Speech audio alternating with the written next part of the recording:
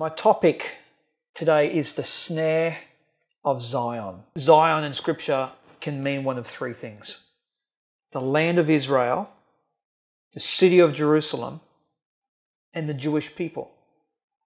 They are usually interchangeable between those three things. Zionism, on the other hand, is the belief in the biblical mandate that uh, the Jews have the historical right to the ancient homeland. Israel is a tiny, tiny country surrounded by nations that are 600 times its size. As far as population is concerned, the Jews within Israel, 5.5 million, they are surrounded by 300 million Muslims and Arabs. Despite its tiny size, Israel dominates world news headlines. Isn't that interesting? For such a tiny, tiny country, it's constantly in the, the headlines.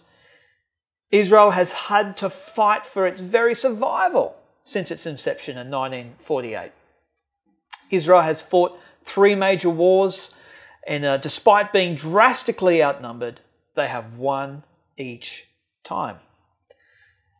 Israel's enemies long for the day of her complete annihilation. And as you can see there, you can see a picture of a Goliath and David. The Goliath has got the Muslim Middle East, and there's tiny Israel. And you can see the soldiers behind, you've got the media and the rest of the world. I think that is fairly apt. There is, you might remember last week when we had when we showed Dalton's um, video, he said there is controversy because there is covenant. The whole reason why we have controversy is because there is covenant. There is a satanic agenda going on behind the scenes which is out to destroy the object of God's affection, the apple of his eye. Paul says of the Jews in Romans in, in 11:28 as our other Paul has said, that they, the Jews, are still, and that's my input there, still loved by God on account of the patriarchs. Why are they loved? Why are they loved on account of the patriarchs? The covenants. Covenants. Covenant. And because of God's everlasting covenant made to Abraham, Satan has targeted the Jews for their destruction. God, in his very nature and character, is defined by the covenants he makes. God's faithfulness is underpinned by his covenants. Satan wages war against the covenants to make God out to be a liar. What does the scripture say? May God be true and every man a liar. And this is what Satan wants to do. He wants to make God out to be a liar. And will do everything in his ability to show the world that God is not faithful. When you consider the four major covenants that God made with Israel Abrahamic covenant, Mosaic covenant, Davidic covenant, New covenant Satan is at war with all of them. Satan has declared war on the Abrahamic covenant through the rampant anti Semitism, and not only that, the delegitimization of Israel's ownership of its land. Because remember, there was a land component of the Abrahamic covenant. There was a blessing component, calling component, and there was a gift component. And what does Paul say? The gifts and the callings are irrevocable. He's not going to take them back. Satan has declared war on the Mosaic covenant. Now, I just need to clarify something. We need to understand, sure, we're not under the law, but the Mosaic law has played a role in preserving the identity of the Jewish people. This is important to understand, okay, because there are still good ongoing aspects of, of, the law. They have preserved to keep Israel's identity intact. I'll give you an example. If you took 100 Australians and you sent them overseas would you expect them to find those Australians, just, you know, in, in another hundred years? No, they'll be assimilated. They assimilate. But Jews have remained distinct. They have remained a people of all this time, and the law has played a role in that. Satan has attacked this through the assimilation, with Jewish people assimilating. Satan has declared war on the Davidic covenant by rising up false messiahs, and the, ultimately the arrival of the Antichrist will be the ultimate blasphemy of the Davidic covenant. Now, the word Antichrist in the Greek does not so much mean against Christ. Do you know what it actually means? Substitute for Christ. Substitute for Christ. That's very important to understand. And there will be a substitution coming eventually. We've had many come and go. We've had glimpses of what to expect, but there's going to come a chief bad guy. Satan has declared war on the new covenant by shutting down any opportunity for both Jews and Gentiles to hear the gospel. God is seeking a confrontation with the nations. God is laying a snare in Zion in which he will snare the nations. Why do the nations conspire and the peoples plot in vain? The kings of the earth rise up and the rulers band together against the Lord and against his anointed. Let us break their chains and throw off their shackles. The one in, throne in heaven laughs. The Lord scoffs at them. He rebukes them in his anger and terrifies them in his wrath, saying, I have installed my king on Zion, my holy mountain. And Psalm 83, 1 to 4. O God, do not remain silent. Do not turn a deaf ear. Do not stand aloof, O God. See how your enemies growl, how your foes rear their heads. With cunning they conspire against your people. They plot against those who you cherish. Come, they say, let us destroy them as a nation, so that Israel's name is remembered no more. And are we seeing that today? An increasing amount of um, we're seeing that more and more and more and more. Just last week, they approved the atrocious deal with Iran. Just a couple of days before the deal was officially secured, Iran had already said to their country, hey, we've already secured it, and guess what? We get all everything that we have said that we want. We get everything that we want. And you know what that includes? that includes advance notice before their uh, facilities are inspected. It's like someone, the police going to your house and saying, um, hello, we're here to uh, inspect your house. And the guy's in his jammers going, what, now? He says, no, we'll be back in a month. Oh, okay. So he goes and gets rid of his meth lab. But this is exactly what it is you know, and this is people don't realise just how extremely dangerous this is. You know, and it's interesting because uh, I'm going to look at this example here in Judges 14 because the nations don't realise that this is a snare. They don't realise that God is going to be drawing them out against Israel. But also, even Israel itself can be oblivious to what is really going on. Let me check this out. This is the, I'm going to, para, I'm going to summarize this, but basically, this is about when Samson goes, uh, where he sees a young Philistine woman.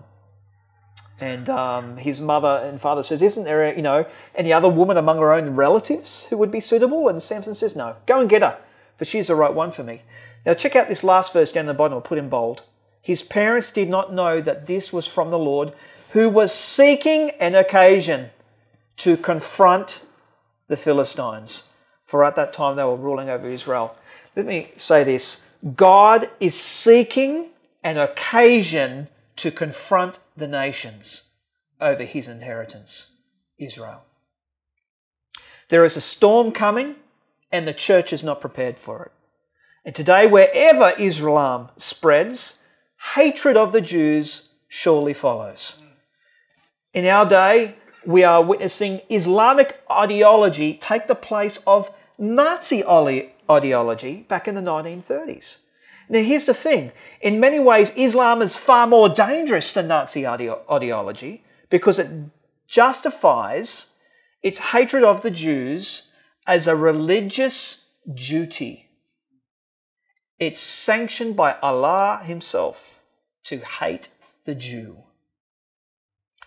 Art Katz said in Germany in 1986, almost 30 years ago, World War II may be over and Nazism may be defeated as a political and military entity, but the spirit powers that brought Nazism into being to destroy a nation and almost the entire civil world, those powers yet rule over the earth, waiting for their next opportunity to insert themselves into the affairs of men while the church sleeps. Isn't that sobering? In the West, Israel and the Jewish people are criticized and demonized on both the far right and the far left spectrum of politics.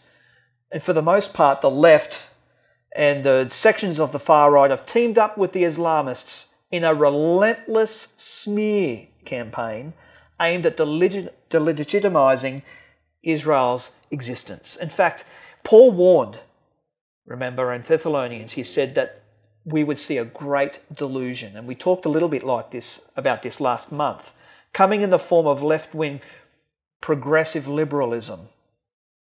And it's, it's no mistake that any left wing political identity has very strong words to say against Israel. They hate Israel. And uh, it's ironic as well because the left also support gay rights. And while Islam, they kill gays, they execute them. You know, just yesterday there was another article where Islamic State are throwing um, alleged gays off the rooftops to their deaths. Sharia law sanctions the killing of gay people. And yet the left have this strange, unholy alliance between the two. Now, if you want to think that Israel is a, the, the left want you to think that Israel is a heartless, brutal aggressor which is, oppresses poor, defenseless Palestinian people. But is that really the case? The truth is that Palestinians are the victims, but to a certain extent. They are not victims of Israel, they are victims of radical Islam. The Palestinians are victims of radical Islam. That's very important to understand. The vast majority of Palestinians are brought up on a toxic diet of Jew hatred. Killing Jews is not only widely encouraged, it is glorified and celebrated. They are committed to the complete annihilation of Israel from the river to the sea. That's what they say. They chant, From the river to the sea, Palestine will be free. And what they really mean is complete genocide, complete wiping out of the Jews. Hamas's famous slogan to the Jews living in Israel We love death more than you love life. They have a summer youth camp training every year where thousands of Palestinian youth train to be suicide bombers and to die a martyr while killing Jews in the process. This year they had 15,000. 15,000 young Palestinians it was a record turnout. They have streets in the West Bank named after suicide bombers. Did you know that? On official Palestinian TV, they sing songs with the words, Killing Jews draws us closer to Allah. Even their children on Palestinian TV call the Jews Allah's enemies, the sons of apes and pigs. This is actually taken from Palestinian TV. اسمع يا صديقي في في عندكم يهود صديقي يا قيس هسه لا اه إيه طيب انا سمعت هم بيجوا عليكم كل يوم اه بس هسه لا طيب إيه اسمع يا صديقي. إيه اعمل إيدك هيك. مخيم آه لما يجوا عندكم اضربهم بوكس آه خلي وجهه بنداره إن آه. شاء الله عشان نحرر فلسطين. إن شاء الله. صديقي. إيه طيب على العموم يا روان أنا بقول له إيه، يمسك حجر ولما يجي اليهود عنده يمسكوه وبوم آه طبعا الجيران آه. اليهوديين آه. عادي يطبش عليهم. لو كانوا يهود يعني جيرانه أو صهاينة عادي. مم. طيب. طبعا. ليش حابة تصيري شرطية؟ ليش؟ زي مين؟ زي زي الحرب عمه مين عمه أحمد. هو شرطي؟ شو بيسوي طب الشرطي؟ بحبس الحرامي واللي بيعمل مشاكل. وبطخ اليهود صح؟ آه. انت بدك تصيري زيه؟ إن شاء الله لما تكبري. كان طخ اليهود. كلهم؟ هاي. كلهم كلهم؟ آه. طيب. There you go. Now, is that sobering enough? You know, and this is what the world does not understand. They don't understand. They think of the Palestinians as just a normal, ordinary people, you know, but they don't understand that there is an underlying, vehement hatred, demonic, seething hatred of the Jews. And the West does not understand this. They don't understand just how fanatical they are in killing Jews. And it's, and it's interesting, even some Palestinian activists who went over there to help the Palestinians, two of them ended up getting killed by the Palestinians because the Palestinians mistook them for being Jews. This is the reality. This is reality. And this is what the world needs to understand. This is what they need to understand. Now, since the beginning of 2014, there has been an increase of 400% in the number of anti Semitic attacks in Europe and around the world compared with 2013. 400%. Okay? In France, half of all racist attacks target Jewish people, even though Jews make up less than 1% of the French population. This is global, okay? This is this is not just in Israel now. This is now spreading out. I mean, in Europe, it is getting really, really, really bad.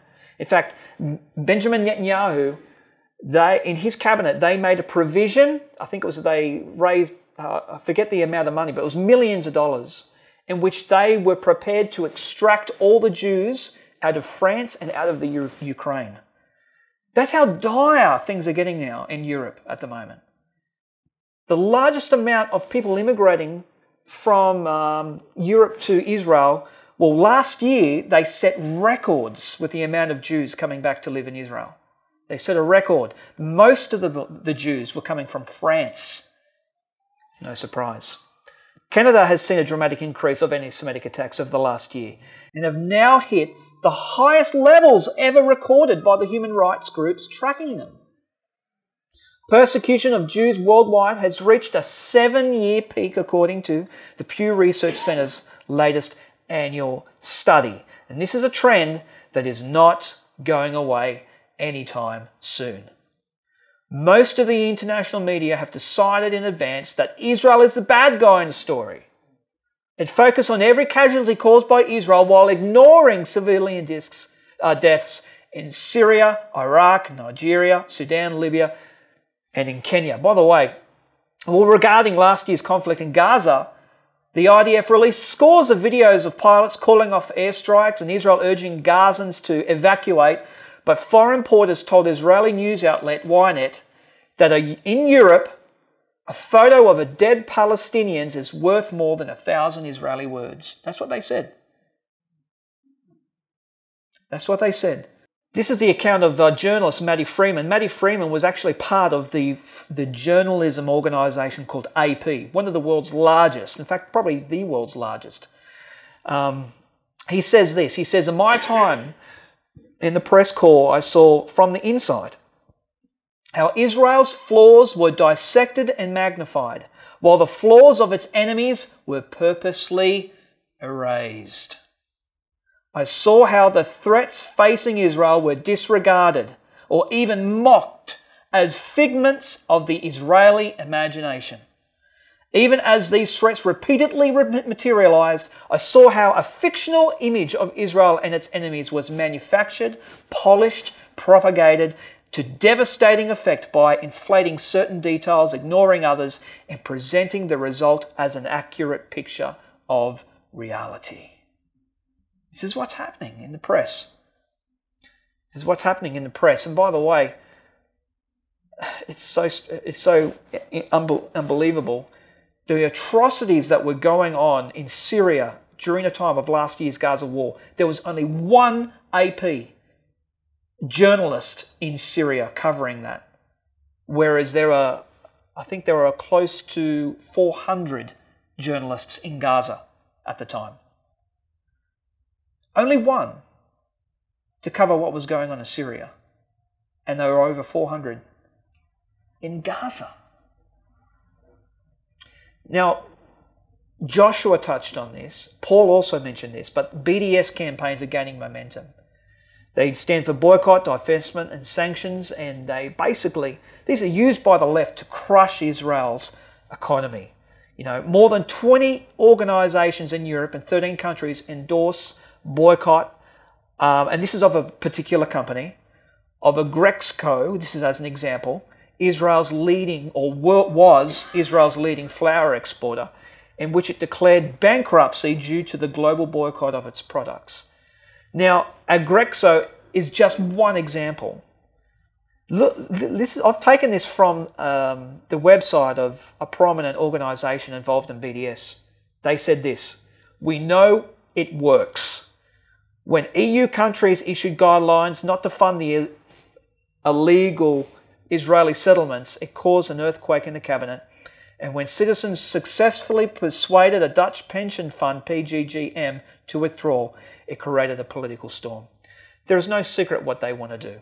They want to take away Israel's ability to defend herself in the face of this de- demonic rage of Islamic fundamentalism. Most of the Western universities are now infested with a virulent anti Zionist hatred, and many have apartheid, Israel Apartheid Week on their campuses, which is an in- initiative of the Muslim Students Association. We have that here in Australia as well. We have it here in Australia as well. Last month, the UK's National Union of Students voted to boycott Israel. This is the national body that represents students in the UK. Voted to boycott Israel. The University of Johannesburg has cut its links with Beershebas Ben Gurion University. The French University, Aix-en-Provence cancelled a meeting with Israeli writer Esther Orner after a boycott by Arab authors. Norwegian universities are also conducting an implicit boycott of Israel, and on and on and on. The boycott is economic, the boycott is cultural, the boycott is educational. They are trying to strangle the life out of Israel from every possible angle. But this will give you an idea of what we are facing in, in our current universities. My name is Jumana Imad Musa Ahmed Al Bahri, um, and I'm a student here at UCSD. You condemn Hamas Would I condemn Hamas? as a terrorist organ, genocidal organization. Are you asking me to put myself on a cross? If I say something, I'm sure that I will be arrested for reasons of homeland security. Okay, I'll put it to you this way I'm a Jew. The head of Hezbollah has said that he hopes that we will gather in Israel so he doesn't have to hunt us down globally. For it or against it? For it. Wow. Wow. This is what we are seeing, and this is happening all over all the campuses across the United States, across Europe, even here in, in Australia. So, this is what is happening. And as Paul mentioned, we're also seeing this movement happening in the church. In the church. the last place you expect to find it. Destructive teaching called replacement theology. It's spreading through the church like an aggressive cancer. In many churches these days, and um, Paul has learned ex- from experience from firsthand from certain churches. I'm sure many of you have experienced this firsthand, where there are churches who don't want to have anything to do with Israel and Zionism. US denominations such as the Presbyterian Church USA and United Methodists have both adopted anti Israel resolutions in their churches. On the PC USA resolution, um, one of the elders says, Is, is this biblical Israel? Is the modern state of um, is the modern state of Israel? The resolution asked, citing a Palestinian American Presbyterian who was a ruling elder of the church who was upset and uneasy with the word Israel in a hymn. The members of the church concluded that this language is inflammatory, misleading, and hurtful. And here's the thing even Jews are critical of Israel. Would you believe, you probably would believe it, but some of the leaders of the BDS organizations are Jews themselves. Now, how does that work? What? I don't get that. Well, if, you, and this is the thing where you need to understand about the movement of the left. The movement of the left are self loathing, they loathe themselves. You can always tell a leftist because whenever it comes to Australia Day or American Independence Day, they spread all these things about how terrible their country is. You know, they are self-loathing, and um, they are, and many of them, many of them uh, of of the Jews, secular Jews, are a part of that. Now, just this week, the LA Jewish Journal survey found that 49% of American Jews support the Iranian nuclear deal. Only 40% of Jews believe God Israel to the Jewish people. 27% say God didn't, and another 5% said they don't know. And 28% said they didn't believe in God at all. And sadly, many more Jews on the left of the political spectrum, there are many more on the left than do embrace conservative values. And look at this no surprise, American Jews voted 78% for Obama in 2008, 69% in 2012. Or they've gotten what they voted for. The bias against Israel, the United Nations, and this is a, a big one, is truly breathtaking to behold. The bias has become so much of a problem that even UN Secretary General Ban Ki moon admitted Israel has suffered from bias and even discrimination at the UN. Professor Anne Bayefsky, director of the Touro Institute on Human Rights and the Holocaust, has labelled the UN the leading global purveyor of anti Semitism and inserting murderous intolerance towards the Jewish people. This is the UN, folks. The UN. Around 35% of all resolutions and decisions approved by the UN's Human Rights Council target Israel. If that's not anti Semitism, what is? Additionally, 50% of the emergency sessions held by the UN's General Assembly over the past 60 years were convened to denounce Israel. No such session has been called on any other state in over 30 years. In 2013, 70% of the General Assembly re- resolutions targeting a specific country for human rights abuses focused on Israel. Islam is gaining more and more of an influence at the UN, and now we have a UN Human Rights Commissioner. She heads up the whole shebang. A devout Muslim.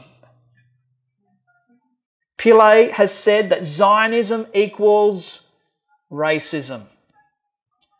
And again, Pro- Professor Anne Bayefsky documents the growing Islamiz- Islamization of the, of the United Nations in her message. In fact, you can watch this on YouTube her whole um, uh, message, she says, uh, Islam hijacking the UN Human Rights Council, in which she laments as a growing concern.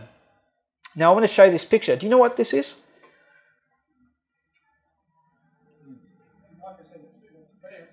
It's a, you can see that it's a scripture. Do you know where that is? It's just outside the UN headquarters in New York. It's just outside, it's, it's actually part of the UN headquarters. Okay? So, what are they implying? They are implying that they will beat, they will cause the nations to beat their swords into plowshares and their spears into pruning hooks. It says, Nation shall not lift up sword against nation, and neither shall they learn war anymore. They're quoting from Isaiah chapter 2. But you know what? It's only half of the verse. Half of the verse. What does the first half of the verse say? He will judge between the nations and will settle disputes for many peoples. Who is He? When He comes, when Yeshua comes, when Jesus comes, He will judge between the nations and He will settle disputes for the peoples, not the UN. And if anything, the demonic force behind the UN, God will use that in which He will draw out the nations against His inheritance. Check this out Zechariah 12, verses 2 to 3. I'm going to make Jerusalem a cup that sends all the surrounding peoples reeling. Judah will be, will be besieged as well as Jerusalem. This is in the future. And by the way, the greatest suffering of the Jewish people is not in the past, it's in the future. The prophet Jeremiah refers to this as the time of Jacob's trouble. On that day, when the nations of the earth are gathered against her, I will make Jerusalem as an immovable rock, for all the nations, and all who try to move it will injure themselves. And in another chapter over in, chapter, in Zechariah 14, I will gather, this is God speaking, I will gather all the nations to Jerusalem. He is setting a snare in Zion. I will gather the nations to Jerusalem to fight against it. The city will be captured and the houses ransacked and the women raped. Interestingly, Jesus said the same thing in the Olivet Discourse. Half of the city will go into exile, but the rest of the people will not be taken from the city. And then the Lord will go out and fight against those nations as he fights in the day of battle.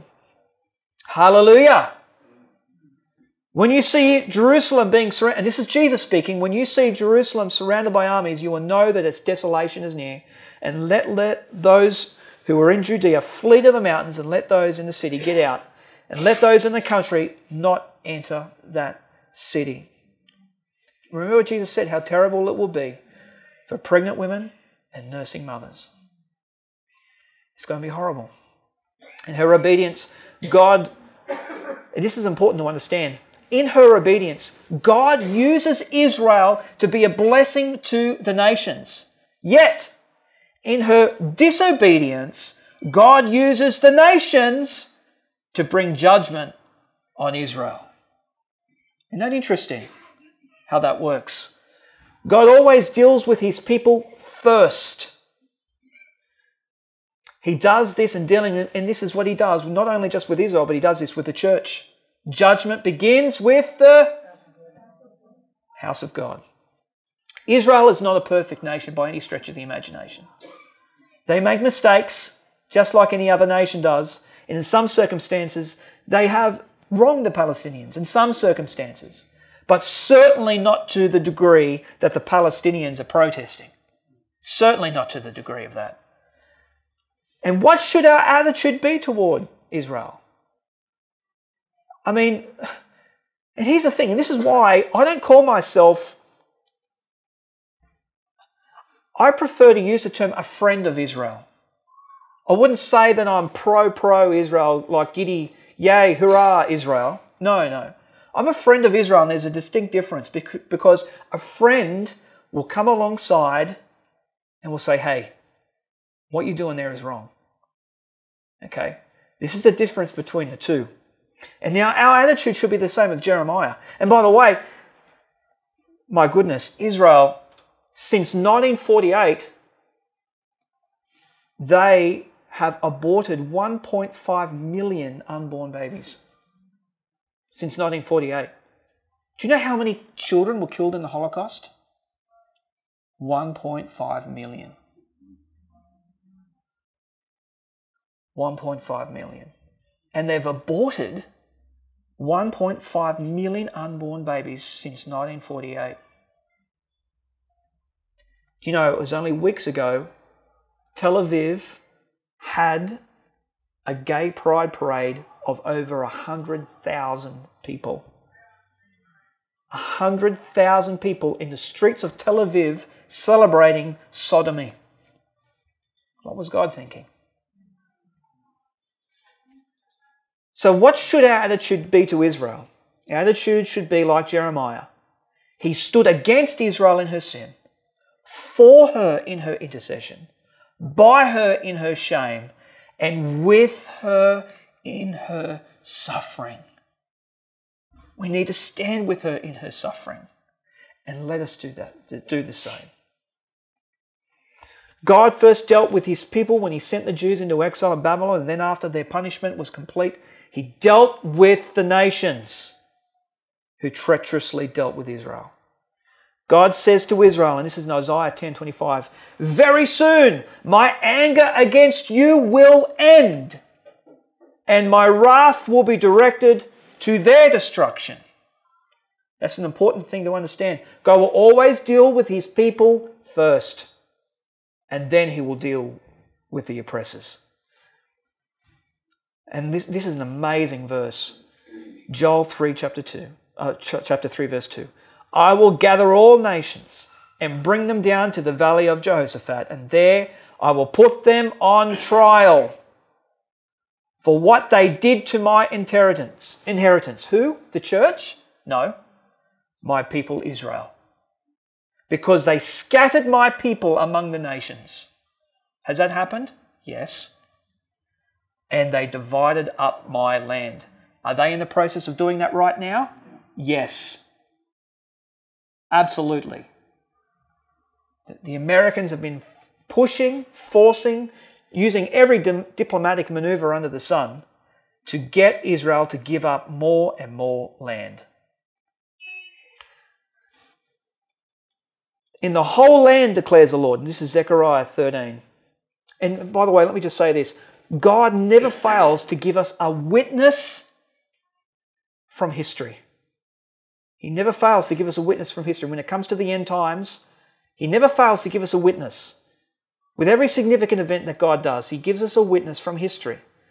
God does not do anything without He first tell the prophets. And a lot of the times, history is a prophet for us. Antiochus Epiphanes is a great example in the intertestamental period, where Antiochus Epiphanes was likened to a, be an antichrist. Um, but we see little glimpses, foretastes, foreshadowings of, of, of, of uh, pieces of history. And God is warning us, preparing us what we are to expect in the future. And the whole land declares the Lord, two thirds will be cut off and perish, yet one third will be left in it. You know how many Jews were living in Europe before Hitler came to power? Nine million. How many did Hitler manage to wipe out in the Holocaust? Six million. That's two thirds. Two thirds. That is a glimpse. It's not the complete fulfillment, but it is a foretaste of the time of Jacob's trouble. But it gets good. Enough heavy stuff. Let's move on with the good news. This third I will put into the fire. I will refine them like silver and test them like gold. They will call on my name. What did Jesus say? You will not see me again until you say, Baruch haba b'shem Adonai, blessed is he who comes in the name of the Lord. They will call on my name and I will answer them.